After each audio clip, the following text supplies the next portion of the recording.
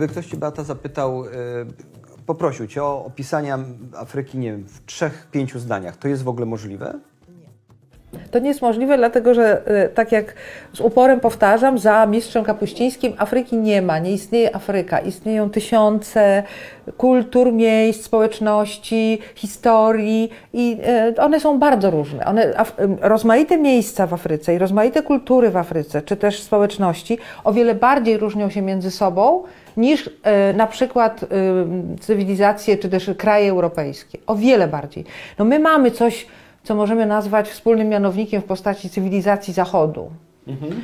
Natomiast w Afryce te społeczności przez całe tysiąclecia żyły w izolacji. To jest ogromny kontynent, na którym ludzie żyli osobno. Czasem się te oczywiście społeczności, ludy spotykały, czasem dochodziło do wojen, czasem się e, mieszały, ale e, generalnie większość z nich zachowywała odrębność i to właśnie widać w Afryce. Więc jednym słowem nie powiem, co mogę powiedzieć, jest zachwycająca, jest, y, jest intensywna, jest dla mnie bardzo zmysłowa, dlatego że y, tak.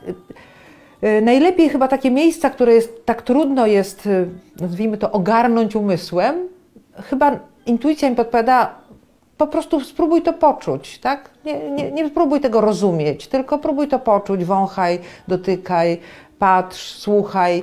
I rzeczywiście w ten sposób, jak powiem, tą swoją Afrykę mhm. poznawa, te swoje Afryki poznawałam. Mhm. Ale myślisz, że, ona, że to jest kontynent intensywniejszy, jeżeli chodzi o wrażenia zmysłowe, niż nie wiem, kontynent południowoamerykański, czy, czy, czy, czy, czy jeżeli chodzi o Azję, bo zwiedziłaś kawał świata, prawda? Masz takie doświadczenie, że yy, jesteś w stanie zdobyć się na yy, porównania i będziesz wiedziała, co mówisz. Yy, Myślisz, że ta intensywność jest jak, jakaś szczególna, specyficzna? Mnie się wydaje, że tak. Nie jestem ekspertem od Ameryki Południowej. Byłam w Meksyku, w Gwatemali, w Nowej Azji byłam w kilku zaledwie miejscach. Wydaje mi się, znaczy intensywność Azji jest ogromna na inny sposób, tak mi się wydaje, ale nie chciałabym tutaj robić porównań. E, Afryka wydaje mi się najbardziej intensywna na dwa sposoby. Z jednej strony natura jest rzeczywiście intensywna. Wszystko w Afryce jest ogromne, gwałtowne. Y, no oczywiście jak pada, to, to to jest ściana, ściana wody. Tak? Jeżeli jest burza, to niebo nie przestaje być rozświetlone piorunami. E, wszystko jest takie ogromne, więc intensywne. Jak jest susza, to jest, to jest całkowita susza i potrafi nie padać rok albo dwa lata. Tak? I rośliny, i zwierzęta, i ludzie muszą się nauczyć w jakiejś harmonii żyć z tak trudną przyrodą. A jest też intensywna dlatego, że bardzo intensywne, prawdziwe, mocne są kontakty z ludźmi.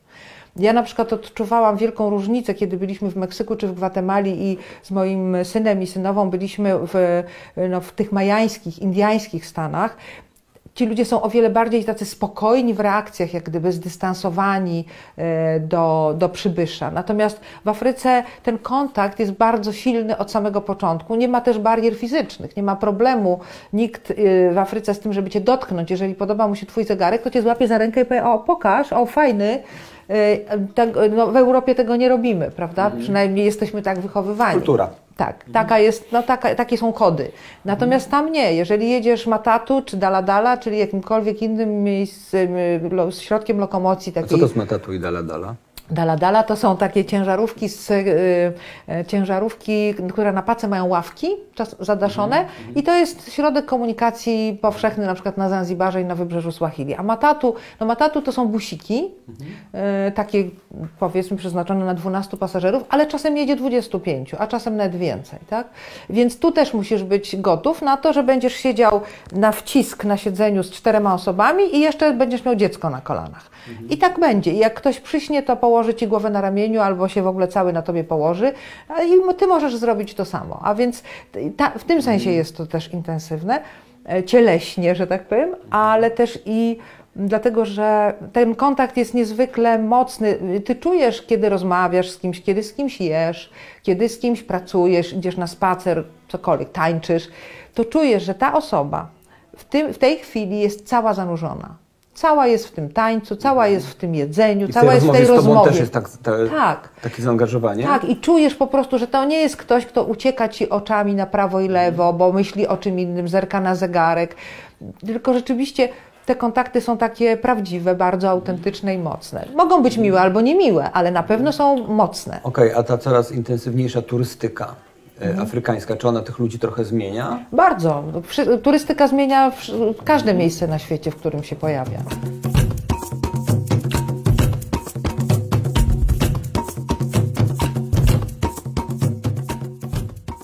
Uwierz mi, że nawet teraz e, e, znajdowanie miejsc mm, autentycznych, bo nie takich jak kiedyś, ale miejsc, w których życie toczy się po prostu swoim rytmem, jest nadal możliwe. I to niekoniecznie wiąże się z odległością, chociaż, to może powiem tak. Z jednej strony są takie miejsca, jak na przykład okolice jeziora Natron, czy święta góra Masajów Oldonio Lengai w pobliżu, e, które są na tyle daleko i na tyle dawno, ja sobie takie nazywam, Jak pięknie to wymawiasz. że-. Zastanawiałem się, jak to wymówić. E, że, e, że jesteś, e, że przyjeżdżasz do miejsc, które prawdopodobnie w dużej mierze wyglądają tak samo, nie jak 100 lat temu za Nowaka, tylko jak miliard lat temu, ponieważ te wulkany tak samo stoją nad jeziorem Natron jak stały, to jezioro nadal jest, ma te swoje 40 parę stopni i nadal gniazdują tam tysiące flamingów, bo tylko one są tam w stanie przeżyć, a żaden drapieżnik nie- nie wlezie do słonej, gorącej wody. I tam to, to są miejsca, w których doświadczyłam absolutnie niezwykłych rzeczy, bo tam zwierzęta nawet nie boją się ludzi. Tam mi się zdarzyło coś takiego, co się nie zdarza normalnie na safari, gdzie oczywiście wszyscy gonią samochodami, za, żeby podjechać jak najbliżej lwa. Ja sobie po prostu siedziałam spokojnie nad jeziorem Natron, żegnałam się z nim przed wyjazdem, tak sobie tam poszłam sama i e, akurat pojawiała się świeża trawa, bo zaczynała się pora deszczowa i przyszły sobie żyrafy. E, I one były tak blisko mnie, jak, nie, jak nigdy, no może prawie nigdy, nie było blisko mnie żadne inne zwierzę. I traktowały mnie jak cząstkę krajobrazu. Ja po prostu nie byłam dla nich żadnym zagrożeniem. I to było tak cudowne, serce, dojmujące. Serce zaczęło mocniej bić w tej Ależ tak, i po prostu się, czułam się no, naprawdę niezwykle. W zasadzie nic się nie działo, można powiedzieć. Tak? Ja siedziałam, żyrafy jadły, ale tak, takie poczucie, że jestem cząstką tego, tego miejsca, no było fantastyczne. Ile razy ci się zdarzyły takie sytuacje? Wiesz co, wiele. To zdarzają się też między ludźmi czasami. Na przykład mm, nad, w rejonie jeziora Turkana, które też jest, jakoś do jezior mam ciągoty. W rejonie jeziora Turkana byłam w takim, e, takim, w takim kampie mieszkaliśmy, bardzo, bardzo takim prostym, prowadzonym przez kobiety z czterech zwaśnionych plemion. To też jest osobna rzecz w Afryce, gdzie możesz do, e, spotkać się z tym, że mężczyźni wojują o terytoria dla pastwiska i, terytoria dla krów, a Właśnie, kobiety nie między sobą to, to, to, to piszesz w książce, że, Tak. że, że to nie chodzi o to, żeby Nie między ludźmi. Nie, nie, plemię, nie. Tylko Tak, trzeba Prawda? zabrać, trzeba zabrać Tak. ziemię albo ukraść Albo krowy. krowy. Y, Natomiast, ale generalnie są w stanie konfliktu permanentnego od dziesiątków lat. Natomiast kobiety w, tym, w tych samych plemion w tym samym czasie są w stanie się dogadać, założyć kamp i razem prowadzić biznes. No i właśnie byliśmy w tym kampie. To były kobiety Samburu, Rendile, y, Turkana i jeszcze była Gabryjka jedna. Y, I myśmy sobie siedziały wieczorem na materacach takich pod gwiazdami. Było bardzo, tam jest bardzo gorąco. Y, I, i, no i się chichrałyśmy i oglądałyśmy sobie koraliki, jakie mamy i tak dalej, jak to, jak to kobiety. A potem przyszło nam do głowy, żeby W jakim ułożyć- języku rozmawialiście? no właśnie, e, zaraz do tego dojdę. Przyszło nam do głowy, żeby ułożyć słownik e, w najważniejszych słów w naszych językach. Dwie z tych dziewczyn mówiły po angielsku, niektóre mówiły wyłącznie w swoich językach, nawet nie mówiły w Swahili. Ja tam coś dukałam w Swahili wtedy, ale to naprawdę były początki początków.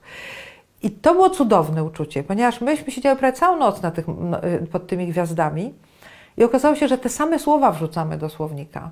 Polsko, angielsko, swahilijsko, te, same, te same rzeczy są dla Was ważne. Tak jest. Były tam to słowa No to typu pięć. e, no, córka, syn, zdrowie, e, słońce, wiatr, woda. Woda była, bo to jest bardzo suchy rejon, tak? I generalnie te same rzeczy. Miłość.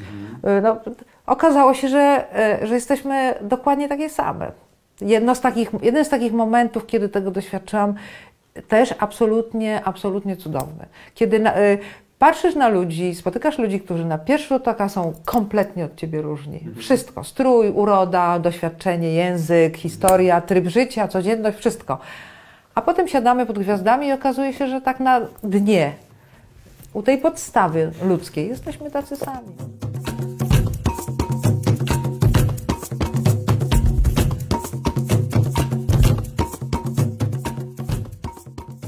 Ale są też rytuały, których się nie pokazuje, które odbywają się w domu za zamkniętymi drzwiami i, i jakby to są te nauki e, dalsze. Natomiast słowa pieśni to jest lekcja. To są wszystko przypowieści, opowieści, które uczą te dziewczyny y, to, to, no, co tego, co powinny wiedzieć, a jednocześnie, ponieważ wszystko odbywa się w tańcu, to jest taka radość ciała. E, Rzecz, opowiem jeszcze jedną rzecz, która, o, którą, o której napisałam w mojej poprzedniej książce a propos Uniago. Jedna z rzeczy, która mnie najbardziej zadziwiła, to to, bo to są y, lekcje, które stare, szanowane kobiety prowadzą dla młodych dziewczyn. A więc w jednej chacie spotykają się kobiety 70-letnie i 15-latki, czy tam 18-latki. Najbardziej intymna część Uniago, która odbywa się w chacie, odbywa się nago. Wszystkie te kobiety są nagie. Między innymi po to, żeby oswoić te młode dziewczyny z ciałem, pokazać im, że ciało kobiety się zmienia, ale można się cieszyć nim przez całe życie. Jak one mi o tym opowiedziały, zresztą no, częściowo tak to się odbywało, to ja sobie pomyślałam, że chyba nie znam, nawet wśród moich cudownych, no nie, nie wiem, czy znam kobiety, które by się na to zdecydowały w Europie, żeby swoje młode, wcale nie kuzynki czy córki, bo to są dziewczyny, które nie są spokrewnione z nauczycielkami, ale nawet swoje, swoje młode, y, nie wiem, y, członkinie rodziny, tak?